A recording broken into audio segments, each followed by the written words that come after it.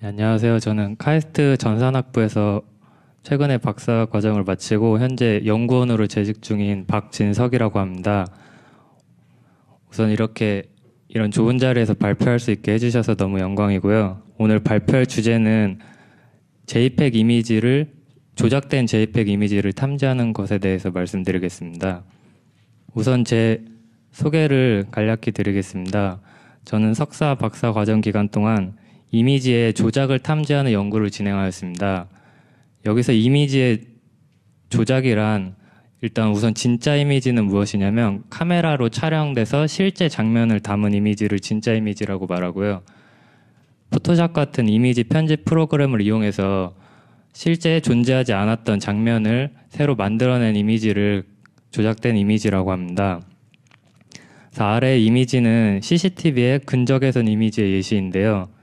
좌측의 이미지는 실제 사람이 촬영된 이미지이며 우측의 이미지는 실제 존재하지 않았지만 그 사람을 마치 거기에 있던 것처럼 조작한 이미지입니다. 석사 기간 동안에는 이러한 CCTV 이미지 조작 탐지 기술을 개발하였습니다. 그 2015년 6월에 저는 어, 웹 기반의 이미지 조작 탐지 시범 서비스를 발표를 하였는데요. 사용자가 이미지 조작을 확인하고 싶은 이미지를 홈페이지에 업로드하면 그것을 이제 검사를 해서 결과를 알려주는 서비스였습니다. 이 당시 비록 시범 서비스라 기술의 정확도는 다소 낮지만 네이버 많이 본 뉴스 IT 분야에서 선정도 되었고 댓글도 많이 달렸는데 이때 사람들이 어떤 이미지가 조작되었는지를 탐지하고 싶어 많이 탐지하고 싶어 한다는 것을 알게 되었습니다.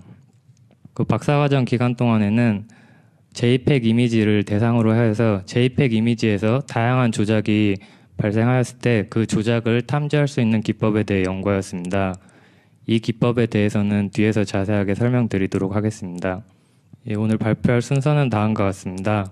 이미지 조작에 대해서 우선 말씀드리고 이미지 조작 탐지 기술에 대해서 개략적으로 말씀드리겠습니다. 그 뒤에 더블 JPEG 탐지 기반의 JPEG 조작 이미지 탐지 방법을 말씀드리도록 하겠습니다. 이미지 조작은 특히 인터넷이나 언론에 유포가 되면은 잘못된 정보를 대중들에게 전달함으로써 큰 문제를 야기하고 있습니다. 최근에 이제 그 선거 운동이나 이럴 때 정치인들에 대한 가짜 이미지가 범람하고 있고 특히 AI 기술이 발전함에 따라서 이미지뿐만 아니라 동영상 또한 실제 존재하지 않았던 사람을 다른 사람으로 바꿔치기 하는 그러한 조작 기술들이 더욱더 기승을 부리고 있습니다. 그래서 이러한 이미지 조작은 실제 과거에서 언론에서 사용된 적이 있었는데요. 아래 좌측의 이미지는 2004년 미국 국회의원 선거 당시 사용되었던 사진입니다. 어, 두, 두 남녀가 과거 1970년대 반, 반전쟁 운동을 벌였다는 것을 증명하기 위한 사진으로 언론에 공개가 되었는데요. 사실 이 사진은 원래는 남자 혼자 있던 사진인데 다른 사진에 있던 여자를 잘라서 붙여넣기 위해서 조작한, 조작한 사진입니다. 그 우측의 미사일 사진은 하단의 이미지가 원본 이미지인데 이란에서 한 대의 미사일 발사 실패 사실을 숨기기 위해서 옆에 다른 미사일을 복사해서 다른 영역에 붙여넣기 한 조작입니다. 이미지 조작을 어, 다른 이미지로부터 객체를 잘라서 어떠한 이미지로 붙여넣는 조작을 splicing 조작이라고 하며 같은 이미지 내에서 하나의 객체를 복사해서 다른 위치로 붙여넣는 조작을 copy move 조작이라고 부르고 있습니다. 그 아래 이미지는 색상 변형 조작이 실제 언론에 사용되었던 사진인데요. 룩소, 룩소르 신전에서 테러 사건이 일어났었는데 좌측의 이미지가 원본 이미지입니다. 스위스의 한 언론사에서 이 이미지를 더 잔인하게 보이기 위해서 바닥에 흐르는 물을 붉게 변화시켜 마치 피처럼 보이게 만든 뒤 공개한 적이 있습니다. 그리고 아래 이미지는 어, 제가 이미지 편집 프로그램을 사용해서 조작해 본 이미지들입니다. 어, 각 이미지마다 정말 한 1분도 안 돼서 간단하게 이미지를 조작한 것인데요. 꽃의 색을 변화시킨다든지 사진에 원래 없던 군인을 집어넣는다든지 최근에는 정말 자연스럽게 이러한 이미지 조작을 쉽게 할 수 있게 되었습니다. 또 AI 기술이 발달함에 따라서 딥페이크 조작 같은 사람의 얼굴을 바꿔치기 하는 그러한 조작도 점점 개발되고 있습니다. 이러한 이미지 조작 기술이 점점 자연스러워지고 정교해짐에 따라서 현재 저희는 어떠한 디지털 이미지를 보면은 그 디지털 이미지가 정말 실제로 존재했던 사진인지 아니면 누군가 바꿔치기 한 것인지 누군가 새로 만들어낸 것인지 점점 알 수 없게 되고 있습니다. 이러한 조작된 이미지를 탐지하기 위해서 20여 년 전부터 연구자들이 이미지 조작 탐지 기술에 대해서 연구를 하고 있는데요. 우선 이미지 조작 탐지 기술은 어, 다양한 곳에서 사용될 수 있습니다. 검찰이나 법원 같은 데서는 디지털 이미지를 증거 자료로 사용할 때도 있기 때문에 조작이 된 이미지를 꼭 확인하여야 하며 보험회사나 방송국 같은 데서는 이제 시청자나 아니면 보험 사기단이 이제 보내는 그러한 이미지 같은 것들이 조작이 되었을 수 있기 때문에 그러한 이미지를 조작을 미리 검증해야 될 필요가 있습니다. 이미지 조작 탐지 기술의 기본 원리에 대해서 말씀드리겠습니다. 사람의 눈으로 볼 때는 진짜 촬영한 이미지와 조작된 이미지가 거의 구별할 수 없지만 이미지 조작을 하는 과정 속에서 통계적인 특성을 남기게 됩니다. 그 원리에 대해서 우선 말씀드리겠습니다. 아래 그림은 디지털 이미지 획득 과정인데요. 어, 객체에서 반사된 빛이 카메라 렌즈를 통과한 뒤 컬러 필터 array를 통해서 센서에 맺히게 됩니다. 보통 카메라는 하나의 센서를 이용해서 세 개의 컬러 채널의 신호를 받기 때문에 각 매트릭스의 빈 부분이 존재하게 되는데요. 이러한 빈 부분을 보간법을 이용해서 최종 RGB 이미지를 만들게 됩니다. 이러한 일련의 과정들 속에 픽셀에는 공통적인 통계적인 특성이 남게 됩니다. 그래서 이러한 통계적인 특성을 분석하여 그러한 통계적 특성이 남아 있는지 아니면 깨졌는지를 확인하면 이미지 조작을 유추할 수 있습니다. 아래 그림은 그러한 원리를 이용해서 색상 변형을 탐지한 예시인데요. 자동차와 바나나의 일부분의 색상을 변형시키고 그 변형된 색상을 찾아낸 예시입니다. 또한 아래 이미지는 하나의 카메라로 찍힌 이미지는 공통된 특성을 갖고 있는데 다른 곳에서 잘라내서 붙여넣은 이미지는 조금 다른 통계적 특성을 갖고 있습니다. 그래서 이러한 통계적 특성 분석을 통해서 다른 곳에서 잘라 붙여넣은 이미지를 탐지하는 기술도 있습니다. 이미지의 물리적 특성을 분석해서 이미지의 조작을 탐지하는 기술도 있는데요. 야외에서 찍힌 사진의 경우 그 대표적인 광원이 태양 광원 하나입니다. 태양 광원 하나일 때는 어, 그림자나 명암이 카메라에 2D로 프로젝션 될 때 공통적인 특성을 갖게 되는데요. 그래서 각 물체의 명암과 그림자를 분석해서 그것이 일치하는지 아니면 일치성이 없는지를 판단해서 이미지의 조작을 탐지하는 기법도 있습니다. 하지만 이러한 기법은 전문가가 사진 하나하나를 분석해서 사용할 수 있는 기술이고 자동화해서 하기에는 어려운 기술입니다. 최근에는 일반 이미지와 딥페이크 같은 조작된 이미지를 생성한 뒤 그런 것을 학습 기반의 조작을 탐지하는 기법들도 나오고 있는데요. 이러한 기법의 단점은 특정 알고리즘만 잡아낼 수 있을 뿐 일반적인 이미지 조작 탐지를 하는 것은 아직 많이 부족한 실정입니다. 그래서 미국 다르파 연구소에서는 어, 이러한 그 조작된 컨텐츠 이미지와 동영상이 날로 심해지고 있기 때문에 앞으로 이것을 탐지하는 것이 중요하다고 생각해서 미디어 포렌식스라는 프로젝트를 수행하고 있습니다. 그래서 영상의 신호의 미묘한 불일치, 사람의 눈 깜빡임의 불일치성 이런 것들을 분석해서 해당 동영상과 이미지가 가짜인지 진짜인지 분석하는 연구를 진행하고 있습니다. 그래서 우선 이미지 조작 기술들과 조작 탐지 방법들을 개략적으로 말씀드렸는데요. 이런 이미지 조작 기술은 더 쉽고 정교하고 빠르게 일어나는 반면 이미지 탐지 기술은 아직은 많이 정확도가 부족한 실정입니다. 그래서 기술 개발이 더 필요한 실정입니다. 그래서 제가 개발한 더블 JPEG 탐지 기반의 조작 탐지 기술에 대해서 말씀드리겠습니다. 저는 이미지 조작 탐지 시범 서비스를 3년간 운영하면서 많은 이미지들을 보았는데요. 사용자가 의심 이미지를 업로드하면 서버에서 다양한 이미지 조작 탐지 기법을 적용한 뒤 그 결과를 전송해 주는 방식입니다. 이 서비스를 운영하면서 느낀 점이 있는데요. 이미지는 매우 압축 포맷도 다양하고 해상도도 너무 다르며 갖고 있는 컨텐츠 또한 너무 다르기 때문에 앞에서 설명드린 이미지 조작 탐지 기술들을 거의 대부분 적용을 할 수가 없었습니다. 그래서 실제 인터넷에서 유통되는 그러한 이미지에는 거의 사용할 수 없는 실정이란 것을 알게 되었습니다. 그래서 저는 그 의뢰받은 이미지들을 분석을 해보았는데요. 약 12만 장의 이미지를 분석을 해보았고 그 중에 JPEG 압축 포맷이 78%로 가장 많았으며 그 뒤로는 PNG가 20%로 많았습니다. 그래서 저는 이제 이미지를 업로드하면 그것을 자동으로 프로그램으로 검사를 해서 이미지 조작 여부를 알려주는 기술을 개발을 하고 싶었는데요. 그래서 저는 접근법을 다음과 같이 접근을 하였습니다. 우선 이미지 포맷별로 특성이 너무 다양하기 때문에 가장 많이 유통되는 JPEG 이미지에 집중하는 전략을 선택하였습니다. 그리고 JPEG 이미지 또한 압축 quality 같은 것들이 굉장히 다양한데요. 그러한 다양한 quality들을 실제 모아놓은 데이터로부터 추출을 하여서 새로운 데이터베이스를 만들었습니다. 더블 JPEG 현상을 탐지하면 다, JPEG 이미지에서 이러한 다양한 조작을 검출할 수 있을 거라고 생각하고 그러한 기술을 개발하였습니다.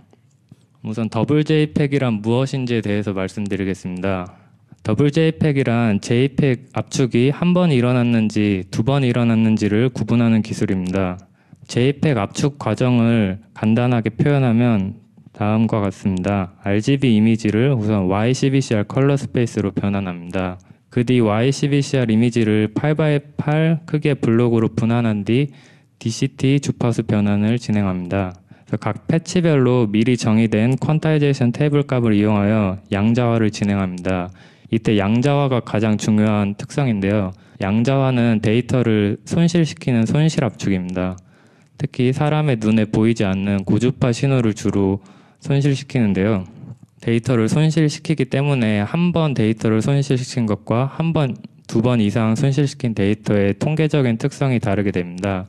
그래서 이러한 통계적 특성 차이를 구분을 하면 어떠한 이미지가 카메라로 촬영돼서 JPEG으로 바로 저장된 한 번 저장된 이미지인지 이 이미지를 다른 프로그램을 열어서 어떠한 조작을 가하고 다시 JPEG으로 저장한 두 번 JPEG 저장된 이미지인지 그것을 구분하는 것입니다. 그것이 제 기술의 핵심입니다. 우선 관련 연구에 대해서 말씀드리겠습니다. 어, 왕 연구팀은 JPEG DCT 계수의 히스토그램을 계산해서 히스토그램 feature를 one dimension CNN으로 입력을 넣으면 더블 JPEG을 탐지할 수 있다는 것을 처음으로 밝혀내었습니다. 아래 그림은 그 DCT 계수의 히스토그램을 나타낸 그림인데요. 위에 두 그림이 한 번 압축된 JPEG의 히스토그램 모양이며 아래 두 그림이 두 번 압축된 JPEG의 히스토그램 모양입니다. 이처럼 눈으로 봐도 다른 모양을 갖고 있기 때문에 이러한 feature를 neural net으로 쉽게 구분할 수 있습니다. 왕 연구팀은 one dimension CNN을 이용하였습니다. 그 뒤 바니 연구팀은 이것을 한 차원 확장시켜서 이미지에서 히스토그램 feature를 2차원 dimension으로 뽑는 방법을 개발을 하였고 이를 이용해서 주로 이미지 비전 분야에서 쓰이는 2D convolutional neural network를 이용해서 더 높은 정확도로 더블 JPEG을 구분하였습니다. 저는 이 기존 연구들도 상용화 하기에는 굉장히 큰 한계점을 갖고 있다는 것을 알게 되었는데요. 그 기존 기술 모두 제한된 JPEG 압축 quality로만 대상으로 기술을 만들었기 때문입니다. 보통 Python이나 그런 프로그래밍에서 JPEG을 압축하면 quality factor를 지정을 할 수가 있는데 그 quality factor 보통 50이나 100으로 이렇게 지정을 해서 사용을 합니다. 하지만 실제 유통되는 JPEG 이미지는 표준 quality factor뿐만 아니라 이미지 편집 프로그램마다 갖고 있는 각자의 quality factor를 사용하게 됩니다. 그래서 저는 이것을 분석한 결과 제가 갖고 있는 이미지의 약 40% 이상이 표준 quality quantization 테이블이 아니라 비표준 quantization 테이블을 사용하였다는 것을 알게 되었습니다. 대표적인 이미지 편집 프로그램인 Photoshop 또한 자체적인 quantization 테이블을 사용하고 있습니다.